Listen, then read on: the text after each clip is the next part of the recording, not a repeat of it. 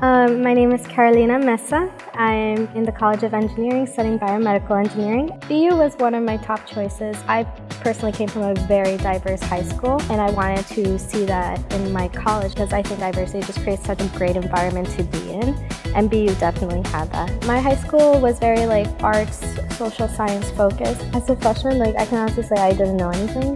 Like I mean, just like starting out and like slowly building up this knowledge. The classes have definitely prepared me, especially the grad level courses I have taken. They definitely apply to what I want to do in the future. It's pretty incredible how much I've grown just like as a scientist and in my capabilities. Like I'm pretty proud of that.